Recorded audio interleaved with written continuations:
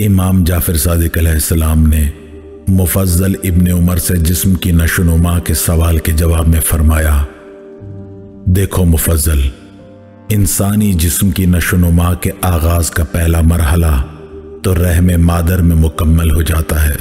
इस मरहले में ना इंसानी आँख उसे देख सकती है और ना किसी का हाथ उस तक पहुँच सकता है और फिर उसकी तदबीर होती रहती है। यहाँ तक कि उसके तमाम आज़ा जवारे जो तरकीब बदन में शामिल हैं, तैयार हो जाते हैं। मसलन दिल, जिगर, मैदा, हड्डियाँ, गोश्त, चर्बी, मगज़, रगें और पट्टे वगैरह। जब ये सब आज़ा तैयार हो जाते हैं तो इंसान इस दुनिया में पैदा होता है। तब तुम देखते हो कि पैदा होने के बाद उसके आज़ा किस तरह खुद ब खुद एक निज़ाम के तहत नशोनुमा हासिल करते रहते हैं। गौर करो कि आज़ा तो बढ़ते रहते हैं, लेकिन उसका जिस्म अपनी ख़ास हैत पर बरकरार रहता है। उसके बदन में कोई टूट फूट नहीं होती, न कोई चीज़ उसमें से बाहर से जोड़ी जाती है और ना निकाली जाती है, जिससे यह समझा जाए कि जिस्म में कोई पैबंद लगाया गया है। यहाँ तक कि वो अपनी पुख्तगी तक पहुँच जाता है। चाहे उसकी उम्र दराज हो या वो अपनी मुद्दत उम्र उससे पहले ही पूरी कर ले तो क्या ये इंसानी जिस्म की हैरान को नशोनुमा अल्लाह के इनकार करने वालों को समझाने के लिए काफ़ी नहीं है? क्या बेहिस और बेरूह मादे या तबीयत में ये सलाहियत हो सकती है कि वो इंसान की तख्लीक के लिए इस कदर बारीक तरकीब और हमत से काम कर सके? ए मुफजल क्या तुमने कभी गौर किया है कि इंसान अपनी खिलकत, यानी जिस्म की बनावट में दूसरे तमाम जानदारों की नस्बत, जो अजीम फजीलत हासिल है, वो उसका दो पाँव पर सीधे खड़े होकर चलना है?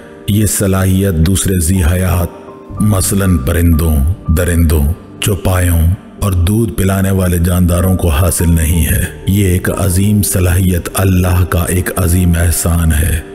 जो परवरदिगार ने इंसानों पर किया है, लेकिन लोग उसकी अजमत व अहमियत पर गौर नहीं करते। अपनी इस मुनफरद सलाहियत के सबब इंसान सीधा खड़ा हो सकता है और अपने दोनों हाथों की मदद से हज़ारों तरह के काम सर अंजाम दे सकता है। दूसरे जानदार चारों हाथों पैरों की मदद से चलते हैं, जबकि इंसान दो पैरों पर चलता है और दो हाथों की मदद से काम करता है। अगर इंसान को भी दूसरे चौपायों की तरह रूबा जमी खल किया गया होता तो हाथों से किसी भी किस्म का काम करना उसके लिए मुमकिन ना होता। ए मुफजल अब जरा इन हाथों, यानी हवास पर गौर करो, जो आदमी के जिस्म में पैदा किए गए हैं, और उनके ज़रिए इंसान को इज्जो शरफ अता किया गया है। दूसरे जानदारों को इन हाथों के सबब इज्जो शरफ हासिल नहीं, जो इंसान को हासिल होता है। मसलन आँखों पर गौर करो कि आँखें किस तरह जिस्म के एक ख़ास मकाम पर बनाई गई हैं। देखो ये आँखें जिस्म के सबसे बुलंद और मुनासिब मकाम पर बनाई गई हैं और सामने की तरफ़ बनाई गई हैं। जिस तरह चराग दान में चराग रखा होता है, ताकि सामने की तरफ़ मौजूद हर चीज़ को देखा जा सके। ये आँखें जिस्म के निचले हिस्से में नहीं बनाई गई। अगर ये आँखें हाथों में होती या उन्हें पैरों के अंदर लगा दिया जाता, या फिर सर के अगले हिस्से के बजाय अकबी या पिछले हिस्से में होती तो क्या होता? आँखें अगर इन मकाम पर होती तो आगे देखने के लिए इंसान को बार बार उछलना पड़ता। उन मकाम पर आँखें होती तो बहुत जल्द खराब हो जाती। इंसान के लिए ये मुमकिन ना होता कि वो सामने और अतराफ के मंजर को देख पाता। इसीलिए अल्लाह ताला ने इंसान की आँखें जिस्म के सबसे बुलंद और महफूज मकाम पर बनाई और उन्हें हड्डियों के खौल में इस तरह रखा, जिस तरह चराग को चरागदान में रखा जाता है। मुफजल गौर करो कि क्या एक बेशूर मादे में ये सलाहियत हो सकती है कि वो इंसानी खिलकत में इतनी मुनासिबतों के साथ इस कदर पेचीदा और हैरान कन इंतज़ाम कर सके। देखो मुफजल आँखें इसलिए अता की गई हैं कि हम हर तरह के रंगों को महसूस कर सकें। अब देखो, अगर आँखें होती, लेकिन रंग न होते, या उसके बरअक्स रंग होते और आँखें न होती तो फिर पहली सूरत में आँखों और दूसरी सूरत में रंगों का होना बेफायदा होता। इसी तरह कानों का मामला है। कानों को अल्लाह ताला ने सर के दोनों जानब एक ख़ास मुनासिबत के साथ बनाया। ताकि ये हर तरफ़ से आने वाली आवाज़ों को पूरी तरह महसूस कर सकें। अब अगर कान होते और आवाज़ें ना होती, या आवाज़ें होती और उन्हें सुनने वाले कान ना होते तो आवाज़ों का वजूद बेफायदा होता, या पहली सूरत में कानों के होने का कोई मकसद ना होता।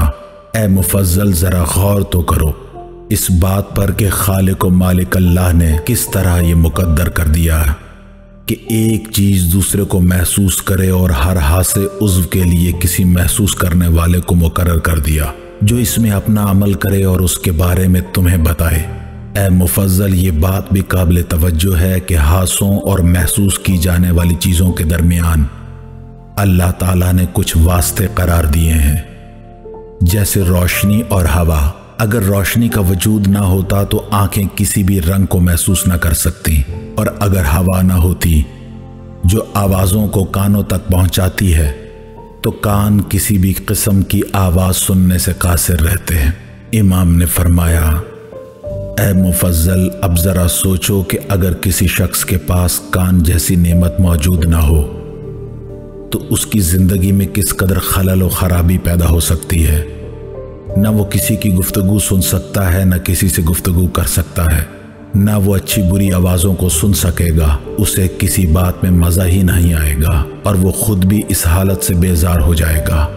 दूसरे लोग उससे गुफ्तगु करने में सख्त दुश्वारी महसूस करेंगे हती कि उससे चिढ़ जाएँगे। आखिरकार वो एक तरह की शदीद तन्हाई का शिकार हो जाएगा। वो सबके साथ उन्हीं की तरह ज़िंदा होगा। लेकिन सारे माहौल और माशरे से कटा हुआ, जैसे जिंदों के दरमियान मुर्दा। ए मुफजल, इब्तदा में जो बातें मैंने तुम्हें हाथों, आँख, कान, जबान वगैरह के बारे में बताई, उन पर दोबारा गौर करो। हवास किस तरह बनाए गए? उनके लिए अल्लाह ताला ने कौन से आज़ा मुकर किए? किस तरह हकीम व खबीर ने इन हाथों के लिए कुछ चीज़ें, मसलन रोशनी, हवा, पानी को वास्ता करार दिया? इन चीज़ों के ज़रिए हमारे हादसे और हवास काम करते हैं। तो मुफजल क्या एक बेशूर मादे और बेअल तबीयत, यानी फितरत में यह आलीशान कुदरत और सलाहियत होती है कि वह इंसान के जिस्म में इस कदर बारीक और लतीफ़ मुनासबतें पैदा करे और जिस्म के इस कदर हैरान कन आज़ा बनाए और इन आज़ा को एक दूसरे के साथ इस तरह हम आहंग किया कि कोई शख्स जो अक्ल रखता हो वो इस बात का कभी तस्वुर भी नहीं कर सकता। तुम सोचो कि क्या ये हैरान कन इंसानी जिस्म, उसके आज़ा, उनकी नशोनुमा, फिर उन आज़ा की कारकर्दगी, उन आज़ा के दरमियान हम आहंगी, उनका बाहमी रब्त, बग़ैर किसी खाले को साने, और एक आलम व बाखबर ज़ात, यानी अल्लाह ताला, रब्बुल आलमीन के इल्म इरादे और एक इंतहाई तयशुदा मंसूबे के बगैर पैदा हो गया। ए मुफजल, ज़रा गौर तो करो, इस बात पर कि ये तमाम आज़ाओ जवारे और अक्ल और वो तमाम चीज़ें जो इंसानी वजूद के लिए ज़रूरी हैं, उनमें से कोई भी मौजूद ना होती तो इंसान की ज़िंदगी किस कदर तकलीफ़ दे होती, इमाम अलैहिस्सलाम ने फरमाया, मुफजल, क्या तुमने देखा कि आम इंसान के जिस्म में उसकी ज़रूरत की तमाम चीज़ें आज़ाद सलाहियतें मौजूद हैं। कोई चीज़ या कोई सलाहियत मफकूद या गायब नहीं होती। तो क्या ये सब बातें इंसानी खलकत में बेइल्म इरादा पैदा हो गई? यानी, क्या एक बेशूर मादा इनको खल कर सकता था? इसके बाद मुफजल बिन उमर ने इमाम से सवाल किया कि आका ये फरमाइए कि ऐसा क्यों होता है कि बाज़ अफराद, बाज़ आज़ा जवारे से महरूम होते हैं और उनकी ज़िंदगी में वही मसाइल पैदा होते हैं जिनकी तरफ़ आपने इर्शाद फरमाया है। इमाम सलाम ने फरमाया ए मुफजल सुनो, ये उस शख्स की तंबी या इम्तिहान के लिए है जिसमें यह नक्स पाया जाए। उसके साथ साथ ऐसा कुछ दूसरे आम इंसानों की इबरत और नसीहत के लिए भी होता है। जैसे बादशाह, हुक्मरान या हकूमतें गलतियों की सज़ाएँ मुकर करते हैं और इन सज़ाओं को बुरा भी नहीं समझा जाता, बल्कि इन सज़ाओं की तारीफ़ की जाती है। उसके अलावा ये भी एक हकीकत है कि जिन लोगों में कोई नक्स जिस्मानी मौजूद हो, उस नक्स की वजह से उनकी ज़िंदगी सख्त मुश्किल का शिकार हो जाए तो उन्हें मरने के बाद अल्लाह रब्बुल करीम इस कदर सवाब अता फरमाएगा कि इन आज़ा के ना होने से जो मुसीबतें दुनिया में उन पर पड़ी थी, आखरत में उनके सवाब को देखकर वो उन्हें इंतहाई हकीर मालूम होंगी। यहाँ तक कि अगर उन्हें मरने के बाद दोबारा उन्हीं आजमाइशों से गुजरने का इख्तियार दिया जाए तो वह इस बात को बखुशी कबूल करेंगे, ताकि ज़्यादा से ज़्यादा सवाब हासिल कर सकें। इमाम अलैहिस्सलाम ने फरमाया, अब अगर वो कहें कि अशिया आलम में ऐसा क्यों होता है, बाज जानदार नाकिस और बाज बिल्कुल सही और सालिम पैदा होते हैं तो ऐसे लोगों को यह जवाब दिया जाएगा कि ये इसलिए है कि इंसान समझ सके कि किसी चीज़ या जानदार का पैदा होना तबीयत के सबब नहीं। असल हकीकत यह है कि खाले को हकीम के इरादे और उसकी तकदीर के मुताबिक ऐसा हुआ है। उसने फितरत को ऐसा बनाया है कि मामूलन तो एक तयशुदा कायदे और कानून पर अमल करे और कभी कभी इस कानून से हट भी जाए, ताकि इंसान समझ सकें कि यह तबीयत भी दरअसल किसी और ज़ात के तसरफ में है। और किसी चीज़ को वजूद में लाने के लिए खाल के हकीकी की कुदरत की मोहताज है।